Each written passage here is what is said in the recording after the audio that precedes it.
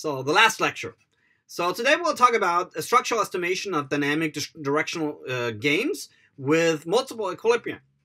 So we're going to introduce a new method uh, called nested recursive lexicographical search, which is really just a, a, a, a standard nested fixed one algorithm, but with a particular solution in the inner loop. Um, um, you can think of that broadly speaking, where the inner loop is then the recursive lexicographical search algorithm that we looked at, at in 20, lecture 21. Now, uh, this lecture relies really heavily on, on, on, on, on lecture 20. So if you don't know about RLS, and if you don't know about the leapfrogging model, well, you would have to look at that lecture first. Uh, I'm assuming the familiarity with, the, with, with both RLS and the uh, leapfrogging model that we're using as uh, examples in the Monte Carlo experiments.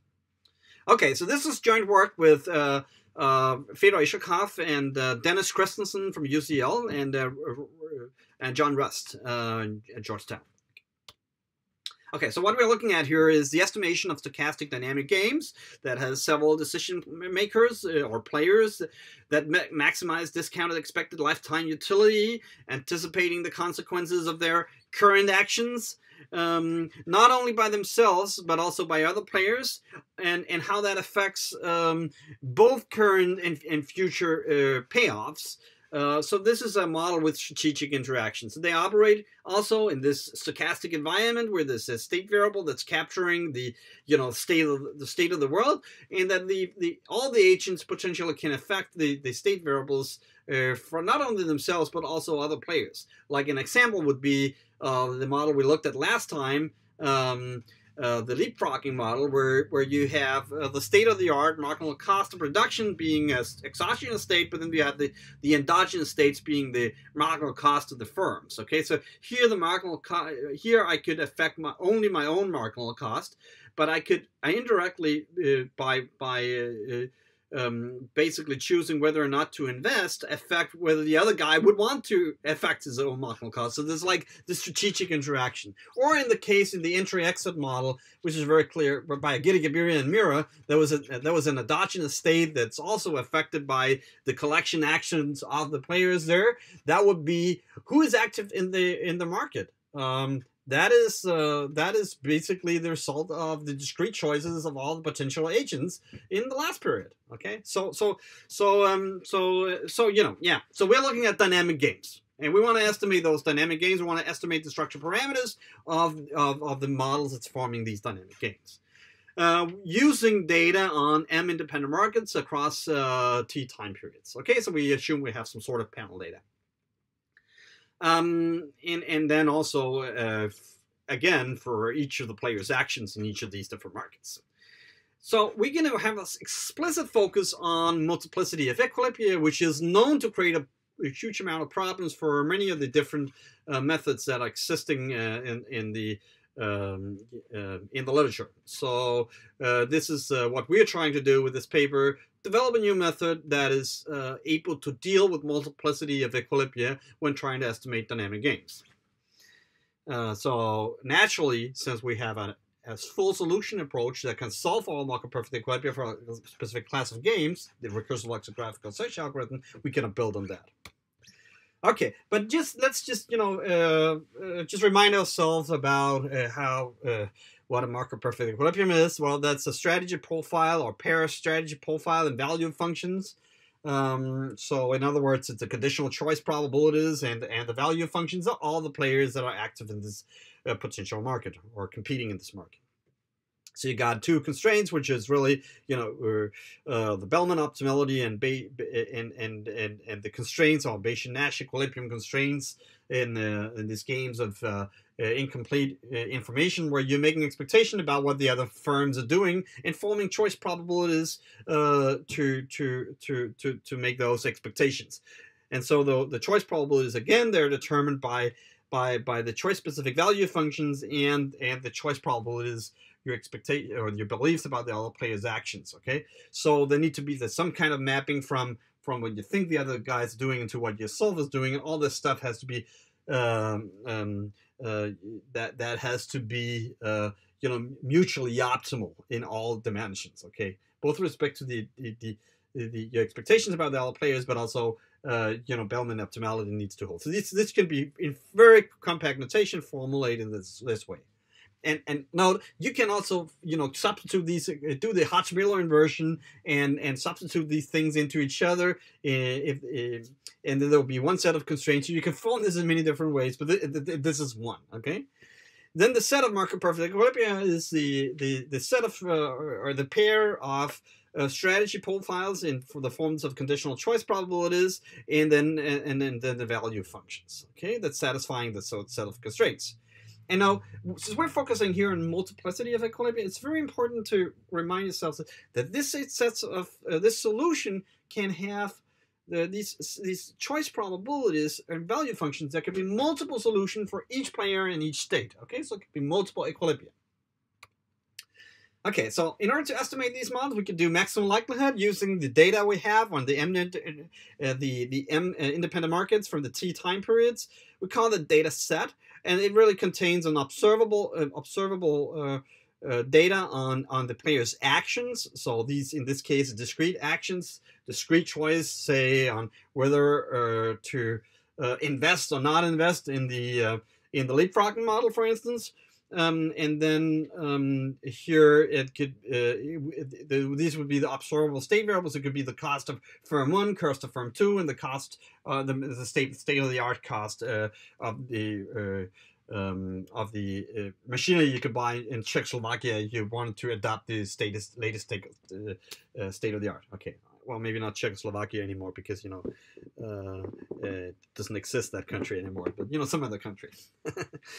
um, Okay, so um, so for given uh, then then what we usually assume uh, is that we that that one only one equilibrium is played in the data. Okay, um, and we can actually easily relax that if you use our uh, recursive lexicographical search algorithm. So what we do is for a given um, value uh, of the structure parameters, then denote PL and VL as a solution, um, as the Lth solution to the uh, Markov perfect equilibrium. Okay, so there could be several solutions to this sets of equations, sets of nonlinear equations, and uh, we index each of the solution with, with L. Okay, then the likelihood function is uh, for a given set of structure parameter, the maximum over all those different um, potential different equilibria. So we're maximizing with respect to the equilibrium selection um, the uh, the log of the choice probabilities uh, for all the different uh, for all the different players at all different markets at all time periods. Okay, um, the log of the probability that you of the observed actions uh, conditional on the observed states. Okay, so this is well pretty standard, but but but using the choice probability from the Lth equilibrium. And so we're taking here a maximization with respect to all the Markov perfect equilibria in the solution that you get uh, when you uh, take the the um, uh, the Bayesian-Nash equilibrium and and uh, Bellman uh, uh, um, equality constraints here um, add this set of parameters. Okay, so um, and that means that you, in principle, need to be able to calculate all the solutions to to find all Markov perfect equilibrium in order to evaluate and exhaustively evaluate this uh, max operator here. Okay, that would be the brute force. Just calculate all the possibilities and take the max of them. Okay. So it has been stated in the literature that if you want to do NFXP maximum likelihood, then you need to be able to calculate all Markov perfect equilibria. I would say it's enough to calculate any Markov perfect equilibrium, okay? Which is, uh, you know, you need to be able to calculate the one you want, but not necessarily all of them, okay? So the maximum likelihood estimator, well, that's just maximizing that likelihood function, which is like the profile uh, max over all the equilibrium selections. Okay, so maximum likelihood is efficient, but as you can see, pretty expensive. Okay, especially if you um, require that you calculate uh, all the Markov perfect equilibria. And like in the example we looked at last time, where there was 192 million equilibria, even for a small uh, disc, uh, rough discretization of the model, well, then calculating 192 million equilibria is, is pretty a pretty daunting task um, for each time you evaluate the likelihood function. So maybe we can do something which is a little bit more clever. Um, well, the, the good thing is, if you do maximum likelihood, it's efficient, although it's uh, um, computationally expensive. It requires a full solution approach if you want to implement a nested fixed point algorithm version of it, or we can do MPEC like we've talked about previously. Okay, so there exist uh, several solution approaches. There's all, all old solution homotopy approach, but then we have some problems. If you have really a lot of equilibria, there's a lot of um, different uh, uh, homotopy path to trace out, and there's just too many bifurcations along the path. Uh, I talked about that at the end of, of the previous lecture. Uh, so we're going to base our, our maximum likelihood estimator on the recursive lexicographical search algorithm that pub published in Restat in 2016. Um, so that's what we call the you know nested likelihood nested uh, fixed point approach to structural estimation with maximum likelihood. Uh, that's that's uh, that that's what we would do. Okay, what what this should be is you should not have any problems with dealing with multiplicity of equilibria. It should be robust to inclusion of that. So so in other words, this max should work. Okay, otherwise it's uh, it's not really you know the maximum likelihood estimator. Okay, so um, um, then there's a two-step estimator. They're fast to compute, but potentially finite large finite sample biases. We've not we discussed this last time. Uh, we're going to compare with some of them here. Okay, and, and here's a bunch of references. Uh, um, essentially, they're just based on the idea that you first go out and estimate the conditional choice probabilities. Then you you you basically um, put those put those estimated uh, choice probabilities into the set of uh, constraints here, and that simplifies the problems greatly. You can combine it with the Hotz-Miller inversion, so you get a choice mapping from choice probabilities to choice probabilities, or you know the the the uh, the best response uh, mapping, and this is uh, this, for, for for instance, allow you to do a two-step uh, pseudo maximum likelihood estimator, like like like it's done here, and then this is like the the policy valuation operator is substituted into to this. Uh, um, uh, into the uh, Bayesian-Nash equilibrium constraints, and then you essentially just have a mapping from uh, choice probabilities to choice probabilities. And, and since you can estimate those guys here, everything just boils down to essentially doing a, a static logit uh, with uh, uh, based on some you know some generated uh, uh, variables. So um, based on the Hotz-Miller. So that's that's very simple. It's it's fast and it doesn't have to. As long as you are able to really get good estimates of the CCPs, well, then this is also robust to the uh, to the uh, inclusion of multiple equilibria as long as they're played one equilibrium in the data. Okay, so then there is uh, there is a problem with the uh, uh, with a finite small sample bias, but then there's the, the, the nested pseudo likelihood should bridge the gap with this uh, between efficiency and computational tractability. Uh, um, turns out that this is unstable under multiplicity, and I think we have looked at this uh, several times. Okay, so uh, especially when you have when you have multiplicity, there's a good chance that there's some unstable equilibria. You could get, get knocked into the wrong equilibrium, uh, and it's really hard for the algorithm to actually uh, to improve on the estimates. Of course, if you are if your first step estimates are really close and you are in, within the domain of attraction, uh, and you're looking for a stable equilibrium and the uh, the NPL operator is stable, well, then it would improve. Um, but but that, that there that are some that that's the conditions for this to work. And Victor is working on this um, on improving on improving uh, this um, in some recent work. Uh, uh, not relying on the successive approximations, but using uh, more like a, a gradient-based or Newton-based uh, methods for finding the fixed point of the NPL mapping. So uh, that has better properties. But, but we're not improve. Uh, we're not um, um, making the uh, any experiments with that here. But but you know, in the short version is it can be unstable due to multiplicity. Um, Then there's MPEC, uh, like we've looked at in Egesdal, Lai and Su's paper, um, that reformulates the problem as a constraint optimization problem, and, and they argue that this should not be affected by multiplicity, and and especially it doesn't have the problems with uh, with the likelihood function being non-differentiable and so on. Uh, so everything is, is, is, smooth, and and you don't need to calculate all the Markov perfect equilibria. You just have to satisfy the constraints that that gives those. Um, that implies those uh, uh, Markov perfect equilibria. Uh, and th those constraints only need to hold at the maximum, not at, at each iteration. So this sounds really promising, but there is a catch to it. It, it it's not really actually working in the cases where there's a lot of multi multiple equilibria if you don't have really good starting values that give you within some domain of attraction and allows you to find the actual the global maximum. So, so what you would do is, you know, here you would maximize the likelihood function um, or augment the likelihood function where this likelihood functions function only at the CCPs.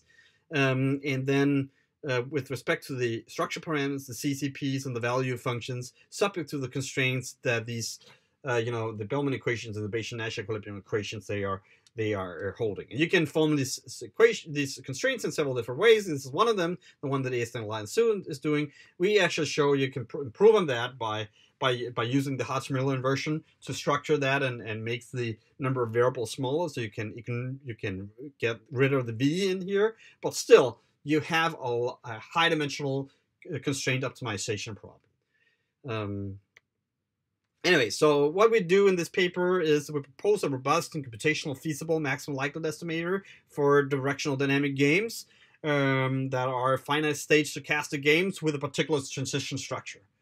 Um, we looked at uh, that last time. You know, the state variables, uh, the state variable process need to be directional, so there can be no loops uh, and and uh, and the and it has to be the strategist has, has to imply a consistent uh, partial order on, on the state space.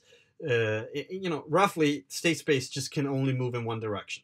Okay, and you can also think of it in a, a slightly different way. If you look at the the controlled uh, transition matrix, which is like the or the unconditional transition matrix for the uh, state variables, where you have taken into account the the uh, choice probabilities of, of the players and all the different potential actions then that transition matrix from states today to states tomorrow, that need to be a triangular matrix. Okay, if that's the case, then you can do backward induction on the on that state space for a given equilibrium selection. Okay, um, and and that's that's another way to see directionality. Okay, so um, given directional games, we can then um, um solve these models with RLS. So what we do is then we rely on RLS, which is a full solution algorithm that provably compute all Markov perfect equilibrium under certain regularity conditions, um, and then employ combine that with uh, a smart discrete programming method called branch and bound to maximize the likelihood function over a finite set of equilibria. So, so normally when we maximize the likelihood functions, we maximize with respect to the structure parameters, which is like, you know, maximizing some uh, continuous uh, likelihood function with respect to those uh, parameters, varying them continuously. This is not what we're going to do here. No, we're going to maximize with respect to a finite set of equilibrium selection rules. Like equilibrium number, is it equilibrium number one, two, three, or four that maximizes the likelihood function? Not equilibrium one and a half. Can't be done. Okay. Um, okay. So to do that, we employ uh, discrete uh, uh, programming uh, called the branch and bound algorithm. Uh, and we'll provide some Monte Carlo. Uh, what we show is that, that our method is fully robust to multiplicity of equilibria, and we can relax the single equilibrium in the data assumption. Um, and, and it's actually also uh, uh, work. So it's also working for models with mul- uh, with um, uh, multiple equilibria played at uh, with with in the model where, where different equilibria could be played at different markets. So that's not really a constraint, uh, com- computational constraints. Okay. Uh, so we can relax that assumption quite easily without you know totally blowing up the comput- comp- comp- computational complexity. Um, and then we show how this branch and bound can use to um, estimate the model. Okay, so here, here, here it is uh, in, in a nutshell. So there's an outer loop that search over the parameter space. So we maximize the likelihood function with respect to theta, and then in order to express the likelihood function, there's an inner loop. Now, no, there's no dependence here in equilibrium selection. We assume when we evaluate this likelihood function that we found the right equilibrium uh, to form the uh, conditional choice probabilities that enter into the likelihood function.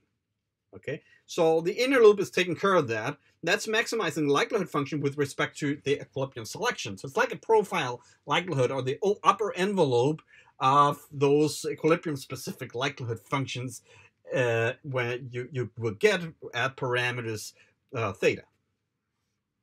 Okay, so here recall the PEL that was the choice prob vector of choice probabilities for the Lth equilibrium. So we're going to max uh, um, uh, take the max with respect to the, the equilibrium selection L uh, across um, all those different equilibria, and then calculate for each of them um, um, the log uh, of the uh, likelihood associated with that particular equilibrium, PL.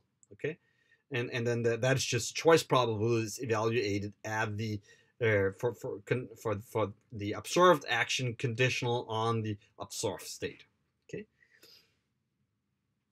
you can think of this uh, max of the function on a discrete set organized into the RLS tree that we looked at last time. Remember, in the RLS tree, there's a branching for each time there's a new potential equilibrium, uh, equilibrium selection, selection at a, a, point in the state space. So there's all these stage game equilibria where so where we have these uh, where there could be in the leapfrog model it could be one, three, or five uh, branching uh, or uh, uh, stage game equilibria at each state, and then the, the tree will branch in five different ways. There's five different equilibrium selections in each tree, so that that kind of you know makes the number of equilibria grow. Anyway, so we'll look at that um, again. Okay, so here's the Land and Doig um, the uh, they they uh, proposed this branch and bound method in Econometrica to 1960. So this is a this is not by any means new, okay? And it's existing it's existing knowledge. It's really powerful, but uh, it's uh, this is an old method. Okay, so this is we're really just taking off the shelf methods and adapting to to to our case here. Um, so uh, it's an old method for discrete uh, programming problems that that relies on the following. So you for, it works on, on a tree of subdivisions of the sets of admissible plans or uh, uh admissible equilibrium uh, selection uh, or equilibrium um, paths. Okay. Um, and then, so if you remember the, the RLS tree from last time, that's really the tree we're looking at. Okay. Um, and then uh, it requires us to specify a bounding function that rep best represents the um, the objective function on a given subset uh, that represent the best attainable objective on a given subset of the branch. Okay, I think actually at this point um, uh, I may want to go uh, further here. Just look at the, the here's the RLS tree and what, what, what I'm talking about here is that you can calculate you, you, each point here, or each number here, point uh, refers to a point of the state space. So you can calculate basically the likelihood function on a subset of the state space. Okay? And then that tree, in that tree here, uh, you, you, you get a partial likelihood uh, um, for, for, for every time, for, for every point you go in the state space, for each branching you do for different types of equilibria. So here, each branching here corresponds to different uh, equilibrium selection at, at, at, a given point in the state space, or stage game equilibrium selection. So that forms this RLS tree that you've just seen. Okay, What you can then do is you can calculate the RLS, uh, uh, the, the, the partial likelihoods at each of those branches, and then figure out what is the smartest way to climb up the top of the tree? Okay, uh, to the leaves of the tree, in in in in some sense. Okay, uh, the likelihood is so say determining the height of the tree. You want to go to the top of that. So so if you go back here to branch and bound, it's really like you form this tree of subdivisions, which is corresponding to the RLS tree in our case, and then you specify the bounding function, which is the partial likelihood um, uh, formed on only a subset of, of that uh, of that tree uh, on a given sub or uh, subset or branch of that tree, um, and, and and and and that's a partial likelihood. Okay, I'm gonna you know show you in a second what it is. Okay, um, and then you can dismiss uh, subsets of of plans where the bound is below the current best change value of the objective. So what you need is to you need to maximize the likelihood function. So if you say you know the likelihood function, your best guess is uh, currently is uh, you know minus 10. Then anything below minus 10, you don't need to explore that. And that's a whole idea about the branch and bound algorithm.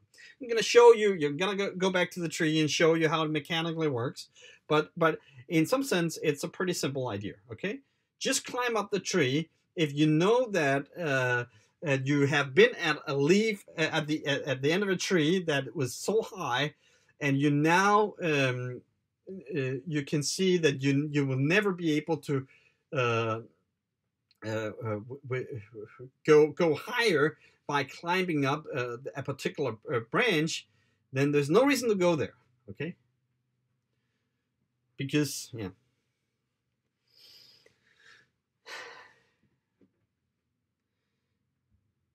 Because the I mean it's like uh, uh, the tree is a little upside down here because the bounding function is really downward sloping. The likelihood function as you get further and further through the leaves, it's like you know you're climbing further and further down. Okay, so it's like you're crawling crawling trees uh, from from uh, uh, with the uh, from the in a way upside down. Okay, anyway, this is maybe a little bit philosophical.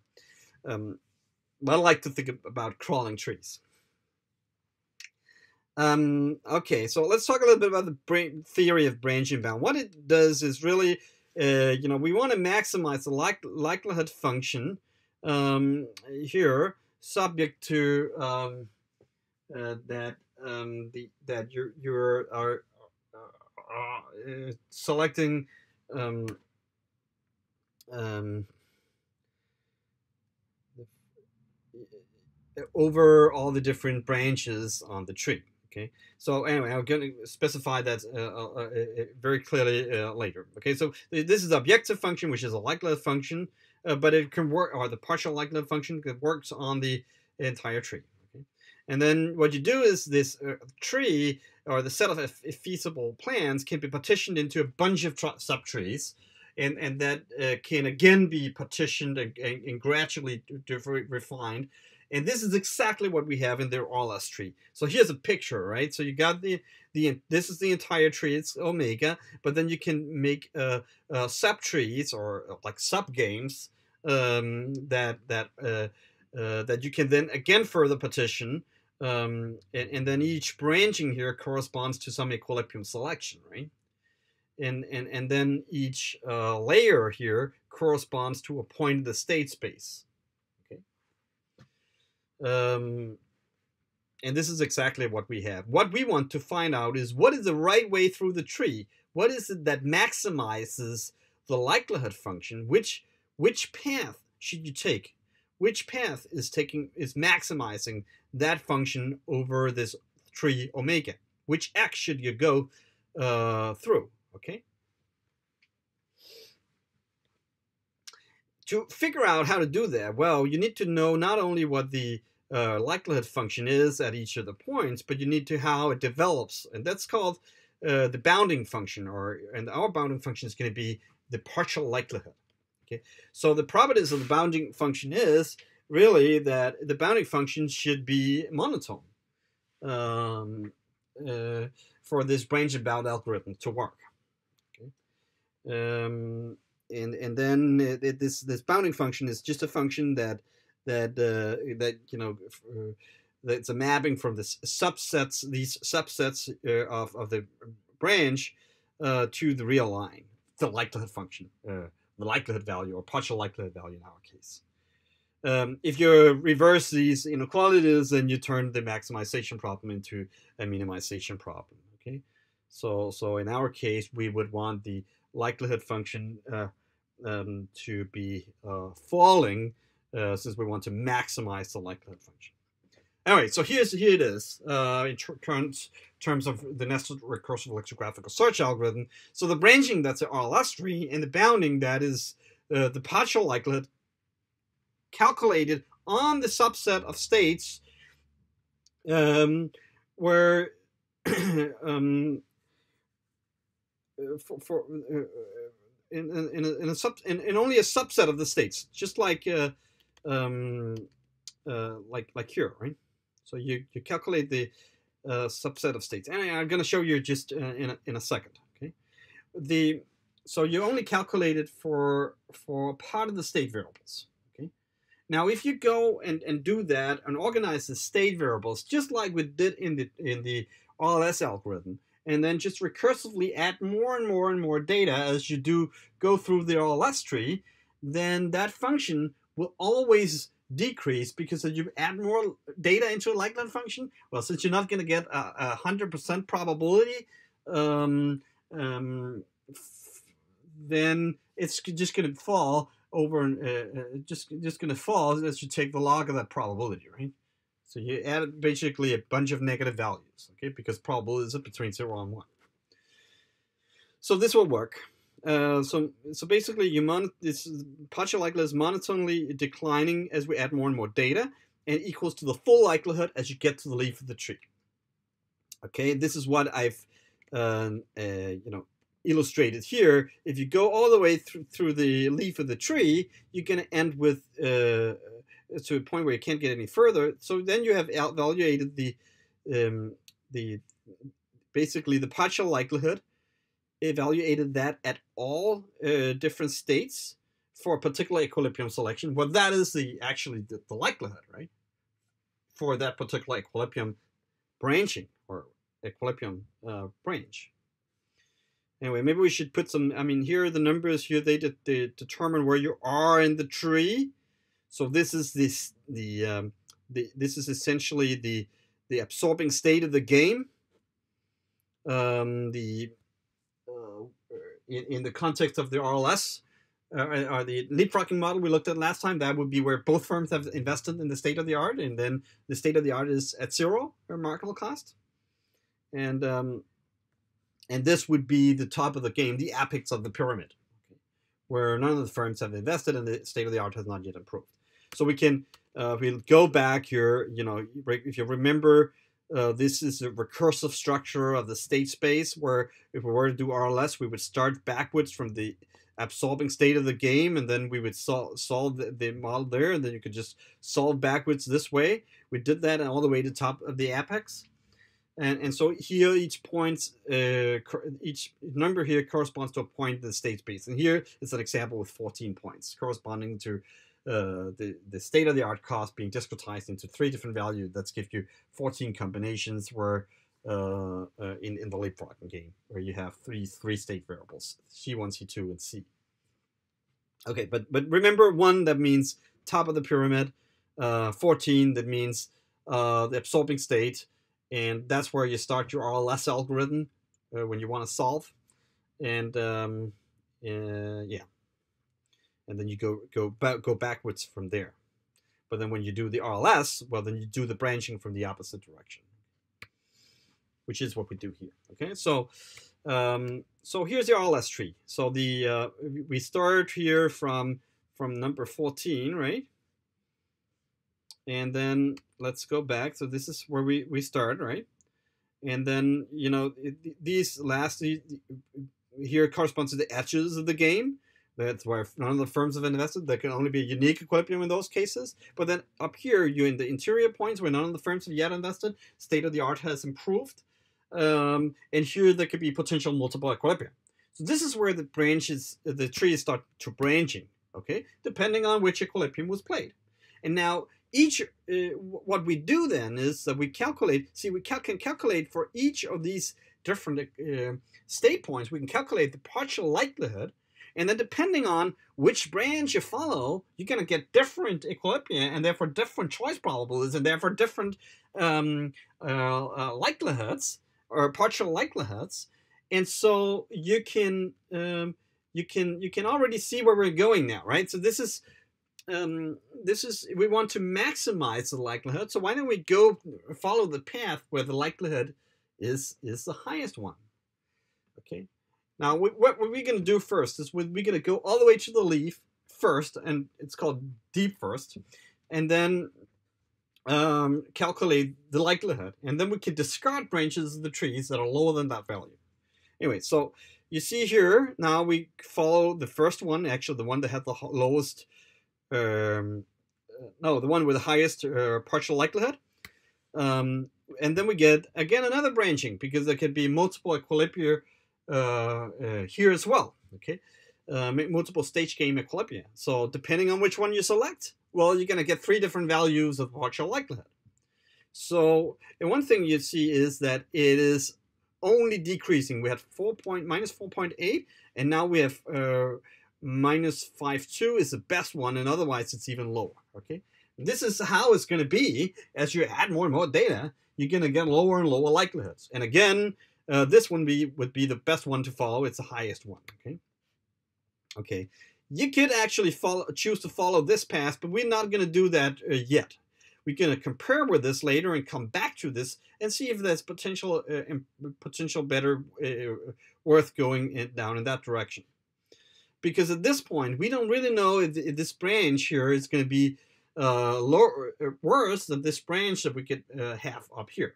Okay, so we can't rule out that the potential likelihood following from this branch is better than uh, is is uh, is better than this branch up here. So we can actually extend this all the way to the leaf. Okay, and this is what we're doing. And then every time we're doing the branching, um, we're calculating uh, at each of the points here, we know what the partial likelihood are, and then we're saving that in some data structure. Okay, so now we know we're on the end of the leaf to the top of the pyramid, and now we know what is the um, um, what is the partial likelihood, which is actually the likelihood associated with taking the first equilibrium you see uh, all the way here to the end. Okay, now um, of course, um, this is this is working best on the slides. Okay, what we would actually do is not going this direction uh, when we do uh, uh, first, but actually just always follow the path where the partial likelihood is the lowest when you first find the, the second one because it's when, when you when you're when you when you're extending here every time when you gradually uh, search for the tree you would go uh, uh, to find the possibly lowest record to start with because the faster you find a low value of the likelihood function, the more equilibria you could discard. Anyway, so let's let's continue. So this is the idea is very simple. You know, now you have a benchmark for how high the likelihood function can be. So there's no reason there's no reason to explore likelihood functions that are potentially worse than that value. But what about minus um, that is lower. Okay, so what about minus 10? Is that uh, a potential one to explore? Well, maybe we should actually look at it because it could be that we get a better uh, likelihood function there.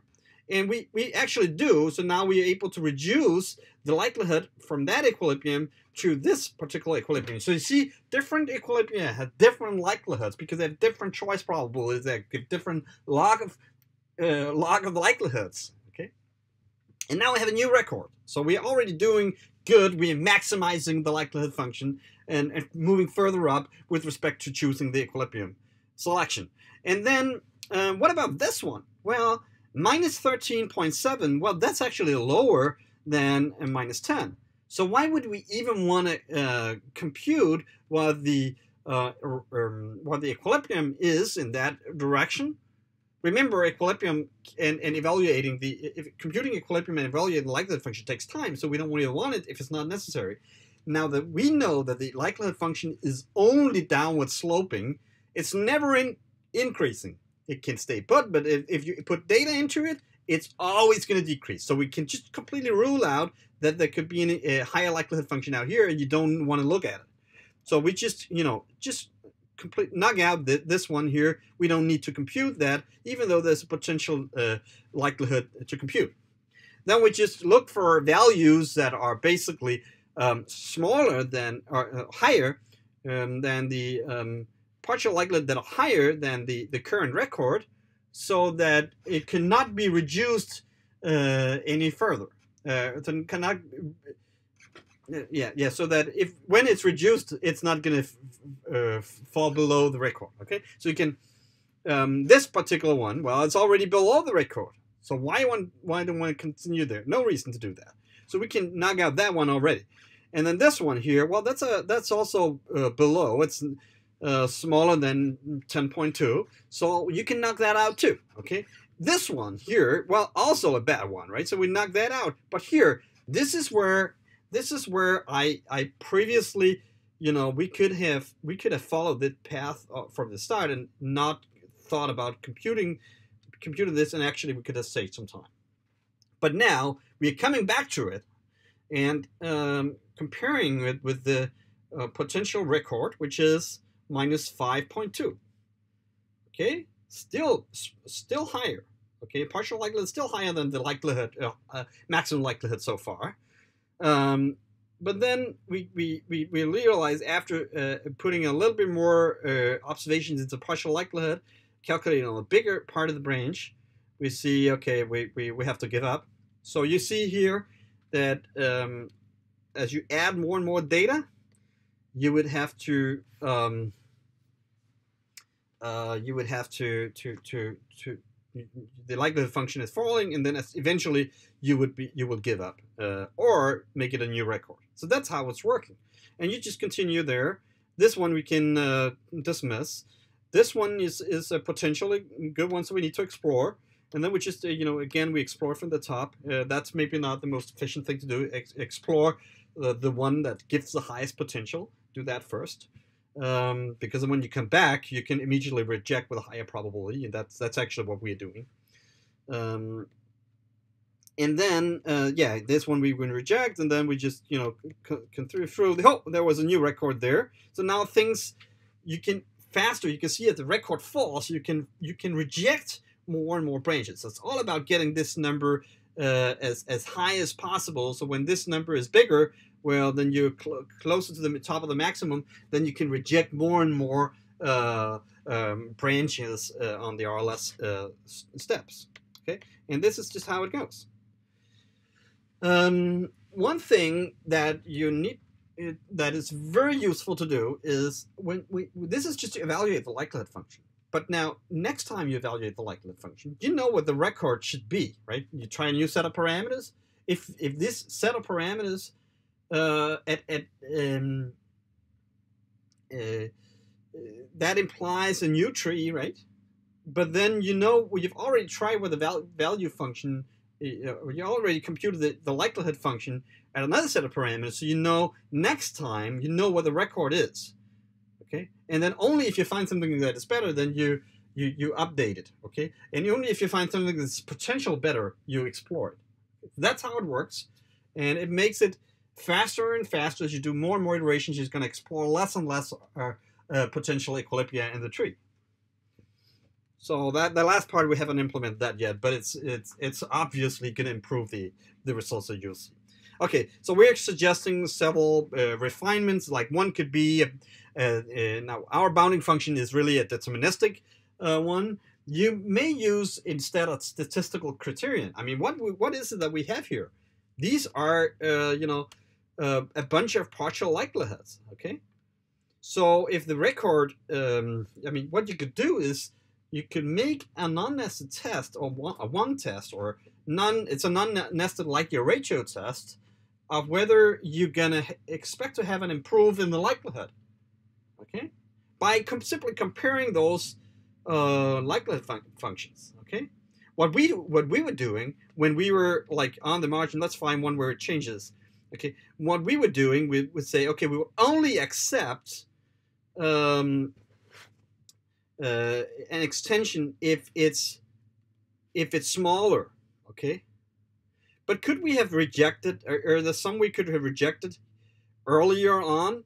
Maybe, maybe, um,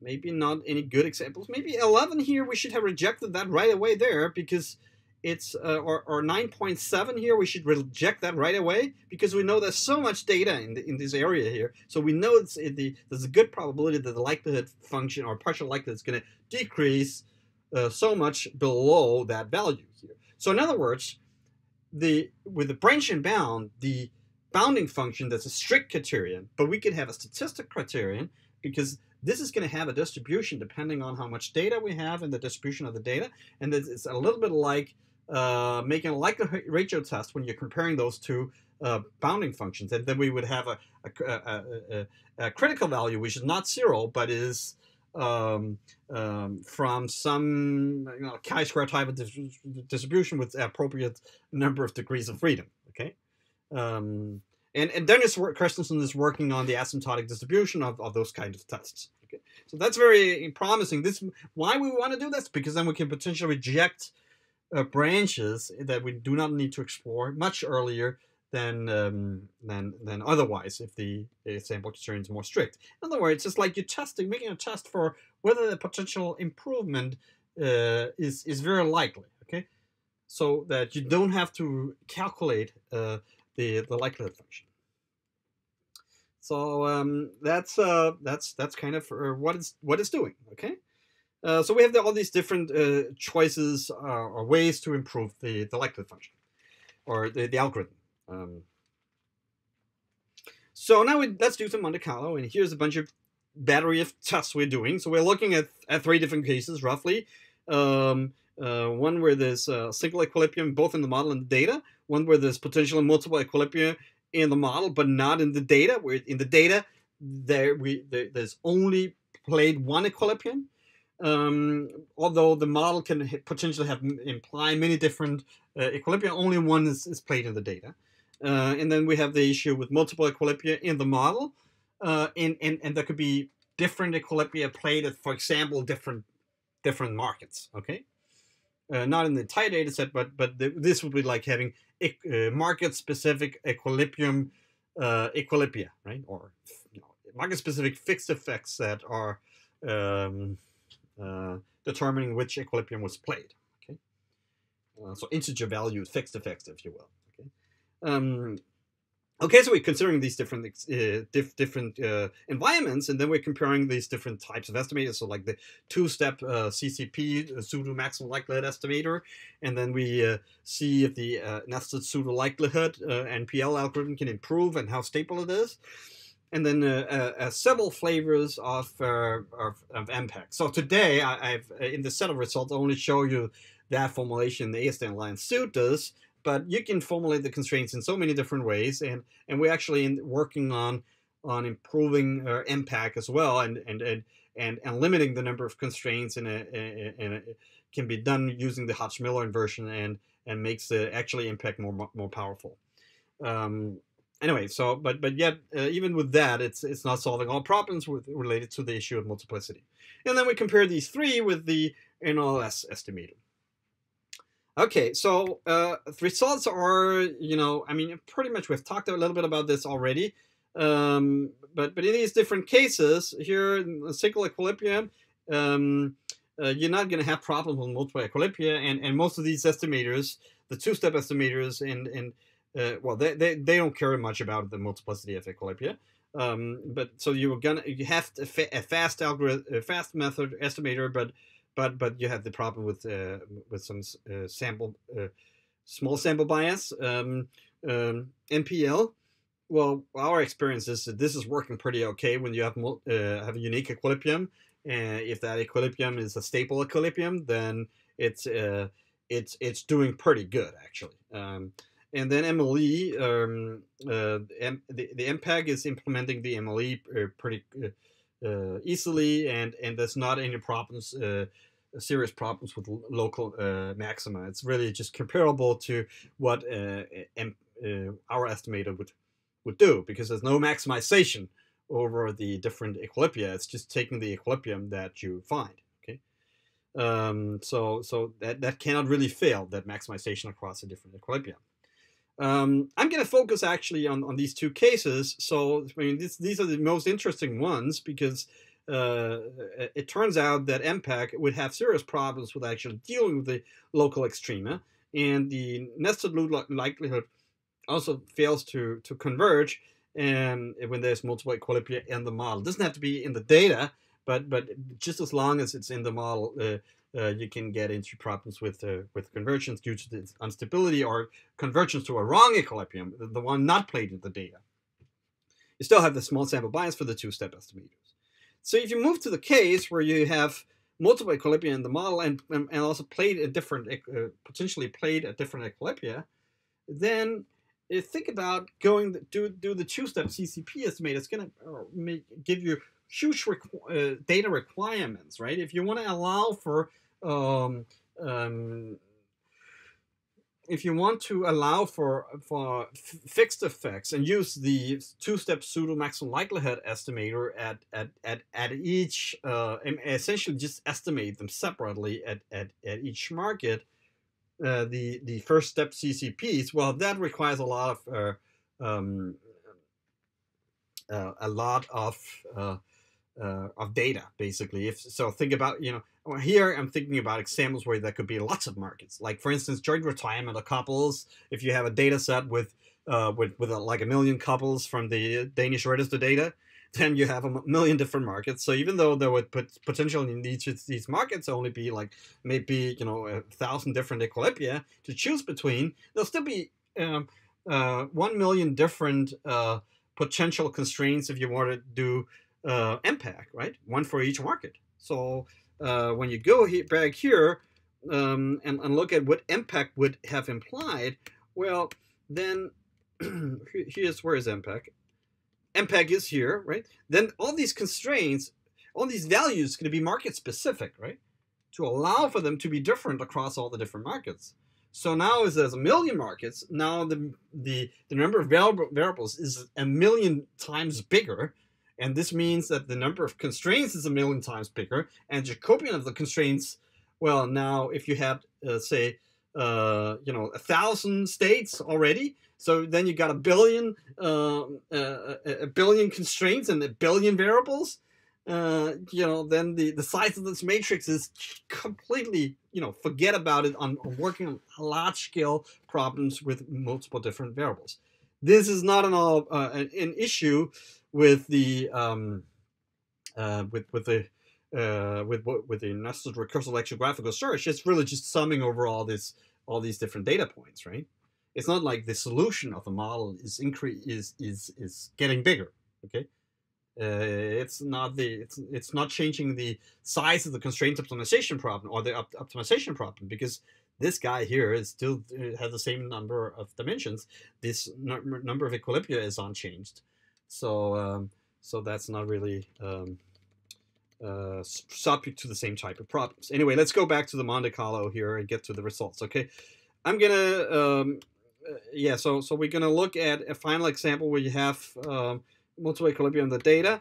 And uh, we're not going to do any of these methods in this case because you would need huge data requirements for the two-step estimators. This is already failing uh, if there's for, uh, once there's multiplicity as in in the uh, uh, in the in, in, the model. So having it in the data as well, or uh, allowing different um, for different equilibria put at different markets, just going to make it even harder. And I can't even wrap, wrap myself around how you would uh, do allow this for different markets, it would be like you need a, net, a different MPO algorithm for each market, for each data point, and do several successive approximations in parallel at all the different markets, and then try to combine that and get one parameter vector. How do you do that? That's not clear for me. Um, um, whereas um, uh, that's that's pretty straightforward with the RLS. Uh, and then, of course, MPEC has this recursive dimensionality built into the uh, the huge curse of dimensionality built into to the um, uh, uh, the constraint optimization problem because the number of variables just you know increase with a proportion to the in proportion to the number of um, of, of markets and, and same thing with the number of constraints.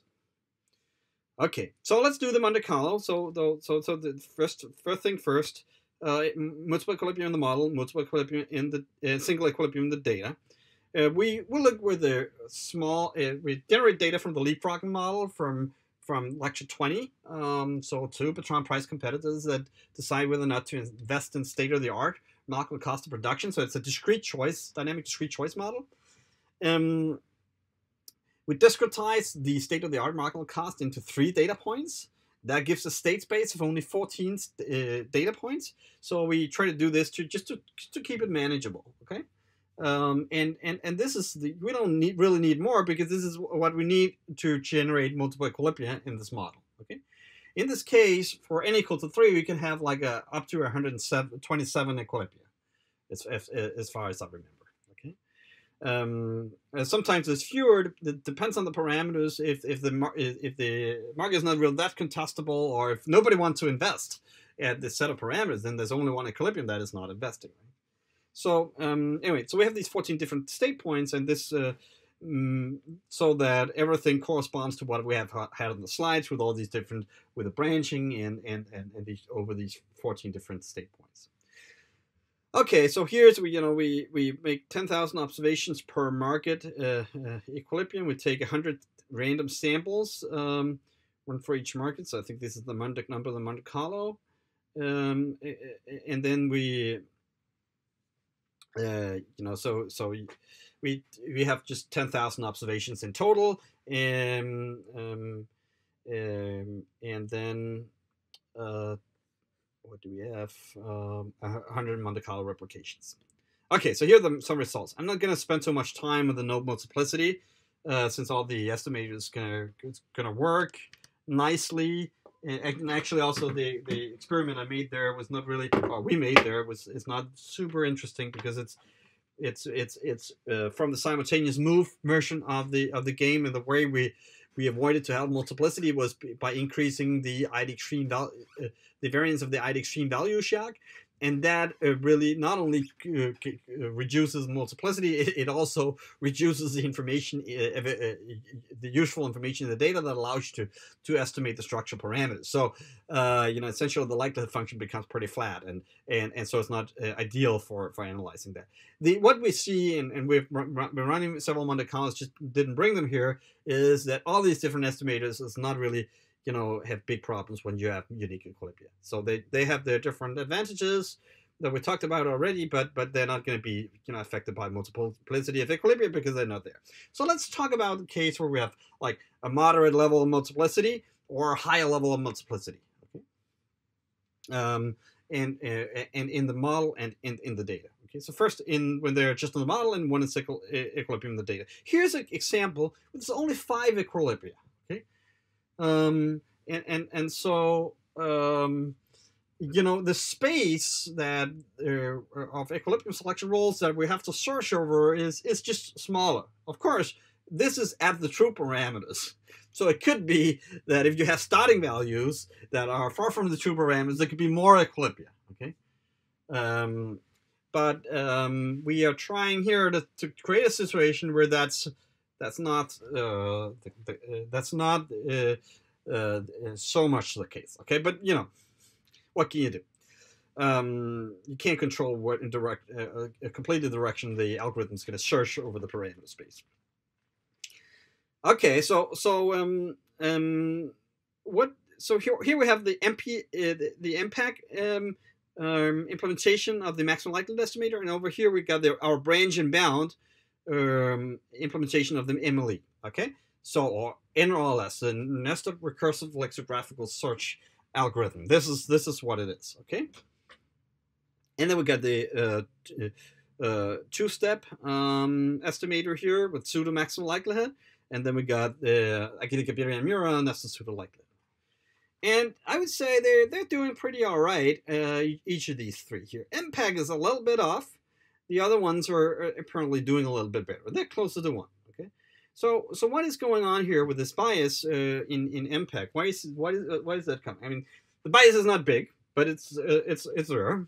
So why don't we discuss it? Well, what you see here is that the constraints, uh, which takes the form now on the actually the the the policy um, uh, the, uh, or the best response mapping from choice probabilities to choice probabilities. So now I've actually taken two constraints and you know inverted one of them, substituted into each other, and then you know the Hotz-Miller trick and and did like in uh, Getty and Mira formulated everything in probability space, and then I just take the the, the norm of that one. Okay, okay, and and so that should hold in equilibrium. So it's like a test of whether the model is solved. Okay, and the same thing for the uh, the, the development equation needs to hold in choice probabilities, space in in terms of the uh, um, I think these are in, in, in working on on the um, uh, choice specific value functions. Okay, and you see this is just like this is really precise for MPEC. Okay, because this is what MPEC is doing.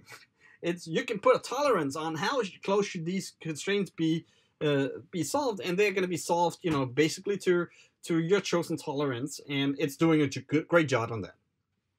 Okay, whereas the two-step estimators, well, you see, uh, because I mean this is this is generated from the the, uh, the model that we're trying to estimate, so um, you know we would hope that it would be able to actually let those constraints hold. You go and estimate the CCPs from the data, and then uh, estimate the structural parameters. Then you know what those mappings are, and you can put the right right back in here into the, uh, uh, the, the, best response mapping, and then it should hold those observed or estimated conditional choice probabilities. They should be equilibrium choice probabilities, right? And that is true as the number of observations increase. Okay, so in finite samples, the the the estimated uh, equilibrium choice probabilities do not necessarily corresponds to an equilibrium. You can see that here. And you can see it in terms of the choice problems and in terms of the value functions. Okay, so I mean they they they are off. You're actually quite quite some. Uh, you know the probability is three percent off on average. Okay, so that's that's uh that's um I mean it's it's it's off. Okay, here we have a lot lots of observations, but still it's not there. Here you can really see the difference to MPEC where it's it's it's it's a it's a, a, tolerance that we choose to set the make sure the constraints hold. And and and so we are imposing that structure from the model which is also why we would get more efficient estimates if uh, we when you maximize the likelihood function. This is also the case for the branch and bound well here the constraints must hold right? We're calculating equilibria using the rls idea okay maybe we're not branching, uh, computing all the equilibrium, but we're calculating an equilibrium. So these should hold, otherwise there's a bug, okay? Um, one thing that's different here between MPEC and, MLE, uh, uh, branch and bound, is that we can see that the likelihood is actually smaller. Okay, here it's uh, uh, it, it's it's it's higher here. But remember, it's negative numbers, right? So you know, it's numerically smaller, but it's higher for branch and bound. And why is that? Well, the problem is that while um, MPEC is trying to maximize the likelihood function, subject to the constraints, it is not finding the maximum. Um, it is just finding a solution which is a local maximum where the constraints are satisfied. So in fact, we, we, if you take the results are coming out of MP, eh, of of of, the of the uh, nested RLS or branch and bound algorithm. Over here, if you take those parameter estimates and those implied choice probabilities and put it right into MPEC as the starting values, it's not going to take any steps because the maximum like, likelihood is already maximized, and it's, it's the constraints will be satisfied and everything because it's an equilibrium. So so um, so this is uh, uh, purely a result of um, of local maxima. Okay. Um, and and say the problem here is that you don't really know whether you have found a local maximum or not when you're if you're not using the uh, branch and bound approach or nested fixed point approach. Here you explore all the different equilibria uh, or, or any of the potential uh, equilibria that could maximize the likelihood function. You're not doing that over here. You're just essentially relying on good starting values and hope that it's not getting stuck in a local maximum. So this is the major problem with MPEC in case you have multiple equilibria that could be simply, uh, you can end up in a situation where you have, think you have a maximum, but you have a maximum on a wrong equilibrium selection rule. So um, in, in a wrong equilibrium. That's a local maximum. Now this problem only get worse if you have more uh, multiplicity. Okay, so this is the same as before, but but but but but you know uh, uh, it, it only gets worse. And notice, notice here the branch and bound algorithm is actually doing pretty good job uh, when you have more equilibria. And once we, we, we try to run the model uh, that that are, are bigger, it is. I mean, it's going to take longer time, but it's not going to take uh, um, proportionally longer time as the number of equilibria increase. You can see that already here, right? Because here we had five equilibria, and now we almost double, double it 20 times, uh, or 20 double it, multiplied with 20. But the computer time from, from here to here is not increased.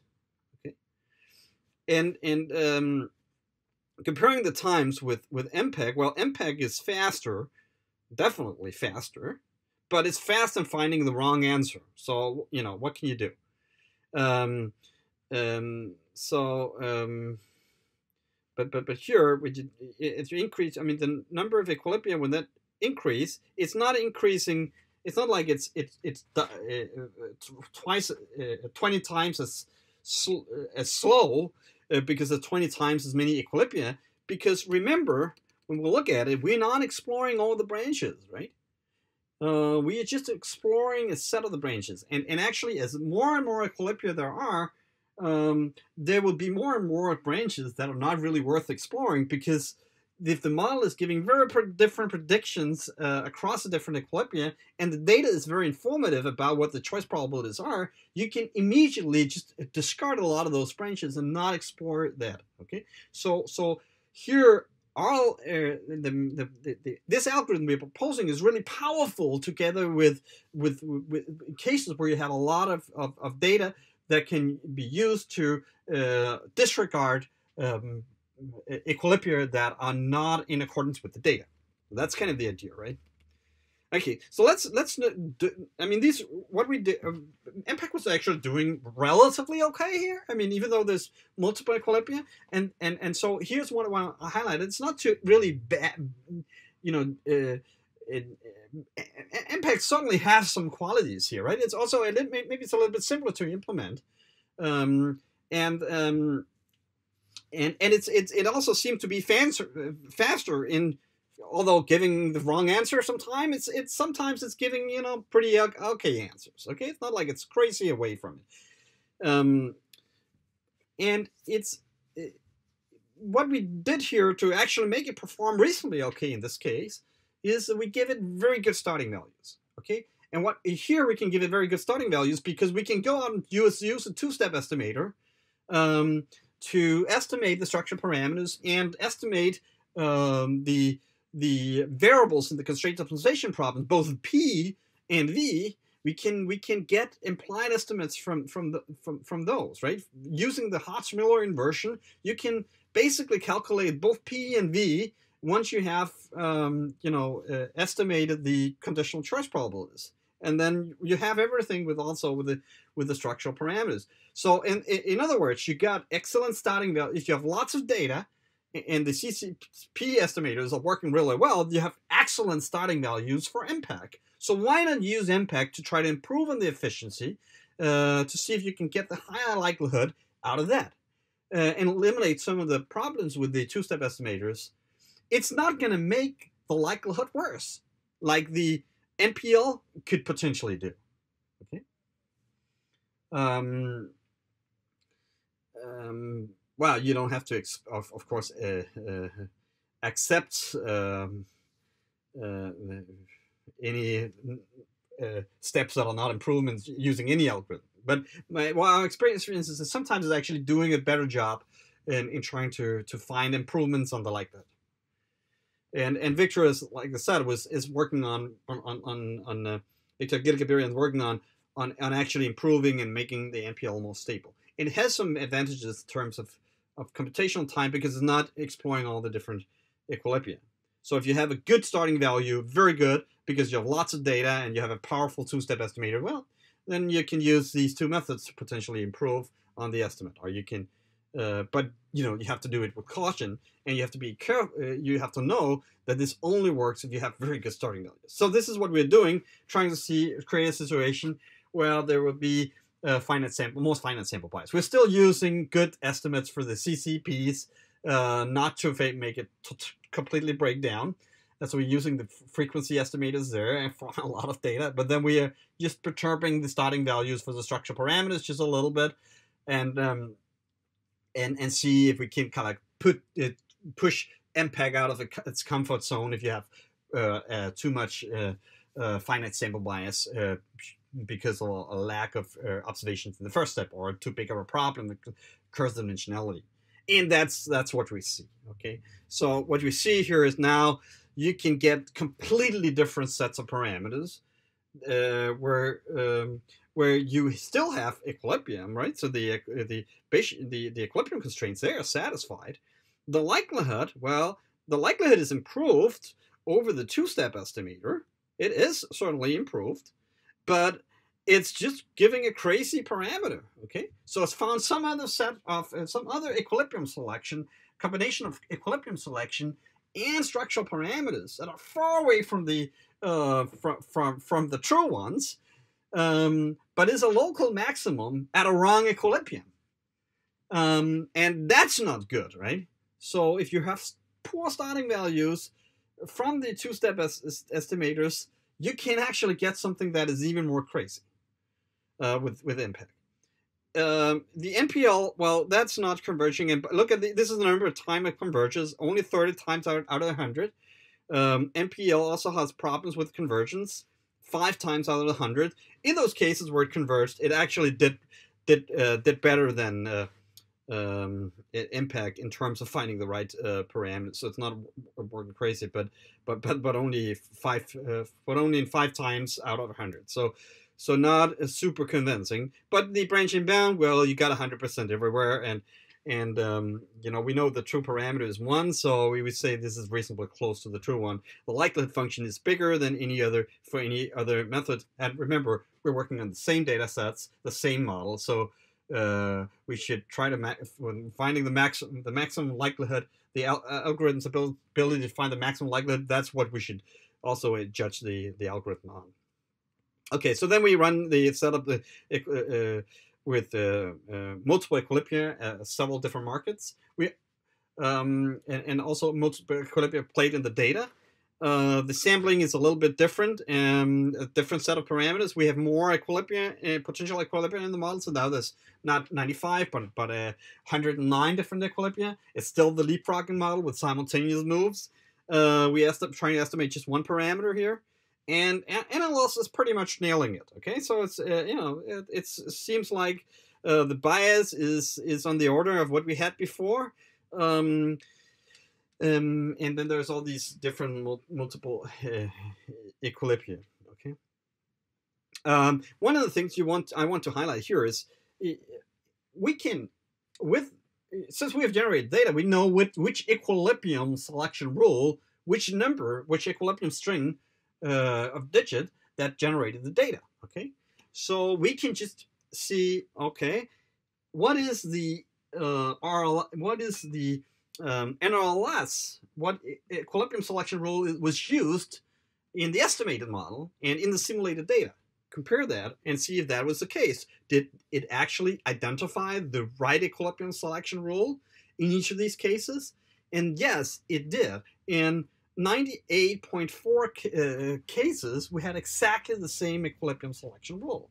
Okay. You can also calculate like what is the Kullback-Leibler distance between, you know, the true distribute uh, true the distribution from the true model and and the um, and the estimated model. Uh, that would also give an indication uh, that will also measure how well how well uh, we are in terms of the equilibrium. But but you can also do it in terms of the equilibrium index. Okay, and here you know this index is uh, uh, it's it's uh, you know since these are integer values, we can easily check if you have the same integer values, if you have the same uh, equilibrium number. Okay, that happens like 98% uh, or 98.4% of the times in our simulations here. And, and so, of course, um, you're not going to expect 100% in a finite sample, right?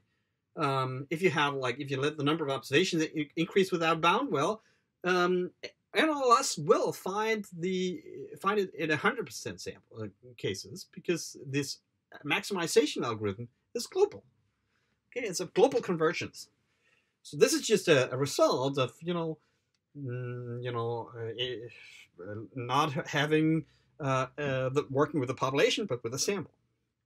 So we're pretty happy with the with these numbers. One of the things that we can improve, and actually not these are old numbers, uh, is the fraction of times we are actually um, or the fraction of Markov perfect equilibrium that we are exploring in total. Because when we did this first, we did not think that think of that we can just you know um, when we did the Monte Carlo here, this record here, we start restarted over all over every time you you evaluate the likelihood function for so for a new set of parameters.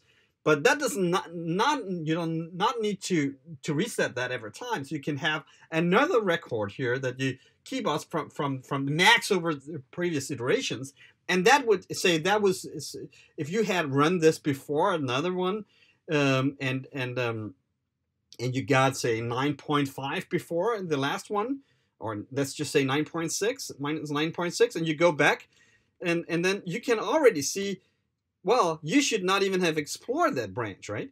You should not have go all, all that way here because that would have not nece- been necessary to explore because you know the likelihood from the previous iteration was uh, minus 9.5, which was already higher. So for this crappy set of parameters or this new set of parameters, you know, no reason to go uh, further from here. So all this stuff here we would not need to calculate. Okay, and the same thing here, uh, everything smaller than 9.5, um, well, already here, this branch down here, no reason to, to, to follow that one or that one, okay? But we are here, we are following it more. So in other words, as you iterate over the and, and maximize over the structure parameters, then this record here would really be be tighter and tighter. The bounding function would be tighter and tighter, and you've been less, using less and less time when calculating the likelihood function. And this is what we have not explored in these results. This last thing. So uh, when you do that, you you the the reduction number just reduces dramatically, and and it reduces more and more as you get closer and closer to the maximum. I mean, just think about it, right? if you for, if for instance if you do you kept making a difference in the likelihood function just to calculate say at, around the top of the maximum to calculate a derivative of the likelihood function. And you already know what the record is. It's like you know you evaluated at, at a slightly different uh, parameter value. Well you already know what what is the maximum. You can just disregard anything okay? That is uh, so in that case when you're making very small steps uh, and you have a very good information about what the likelihood function is, you you often end up just going through uh, one branch, the one that maximizes the likelihood. Okay, so um, uh, let me just conclude. This is a full solution maximum likelihood estimator for dynamic games of a particular type, namely the uh, directional dynamic games. You, we do this by uh, using the conventional idea from the nested fixed point algorithm that consists of a nested outer loop or where that maximizes with the, the likelihood function with the structural parameters, and then does some uh, full solution approach uh, in the inner loop. There's a, a, model solver. And then the inner loop here is, is also is both solving for the Markov perfect equilibrium and selecting the equilibrium that is um, um, that is most in accordance with the data. So um, the brute force approach would, would be RLS just combined in, in the inner loop. That's clearly inefficient. We could do better. That's what we do with the RLS algorithm. Uh, with the with the uh, that, that's what we're doing with the branch and bound algorithm. This discrete integer programming. That is a smarter way to take the max over all the different equilibria. And we have various different refinements of how to max do that maximization uh, including uh, improvements uh, that are based on likelihood-based uh, tests, like the Vuong test, non-nested Vuong tests, so that the bounding function is uh, judged not on a deterministic criterion, whether it's you know just one is bigger than the other, but on an, on a statistical criterion where whether we can test whether there's a potential probability uh, whether there's a, a, positive probability, say, you know, you, you, you, you assign, say, um, uh, like 1% probability of not going in the right direction or, or even smaller than that. Um, then you can you, there's a there's a good chance you can uh, improve on the estimator even or the algorithm even more by by using some likelihood ratio type of test. Okay, so we're working on on the, on, on those further refinements. Okay, um, really the, the, the, but the basic version with branch and bound is working pretty awesomely, and it's not wasting time essentially on unlikely MPEs. This is this is the part that we want to improve on by by this further refinement of the bounding function based on statistical arguments. But but but even without them, it's it's working pretty nicely. Okay, so then we've done this horse race with uh, system estimators. Uh, it's it's confirming uh, some some intuition we had to begin with. Uh, and it's and it's showing clearly that this branch and bound algorithm is very powerful in combination with uh, um, with with a, a, state recursion idea or LS idea and and and, and nested uh, uh, likelihood and, and, and, nested fixed point idea from from from Rust 1987. So uh, we have a pretty uh, stable uh, algorithm. Uh, the main limitation is that it works for directional games only, um, and that. Um, um, but we are we're trying to see if we can work on uh, on on on, on on on relaxing that. For instance, we can have some non-directional states if there's exogenous, like we had in the um, in the leapfrogging model with alternating move moves, and then if you allow for random alternation, then and and use that to approximate some of the uh, simultaneous move games, then you can actually uh, use this um, approach even on games that have uh, less uh, directionality because then you have like a complete one, wind up of the of the method okay, of the, the, game. So like finite horizon games is a good example. Um, um, anyway, so let me just uh, conclude here and say thank you for for this year. Good good luck with the term papers.